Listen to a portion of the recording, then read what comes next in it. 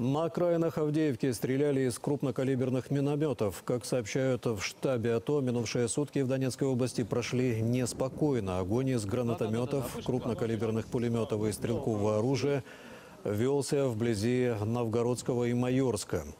Также напряженная обстановка сохраняется в районе Песок, Луганского, Верхнеторецкого, Марьинки, Красногоровки, Широкина и Толоковки. В Дзержинске огнестрельное ранение получил мирный житель. Мужчину доставили в центральную больницу города и прооперировали.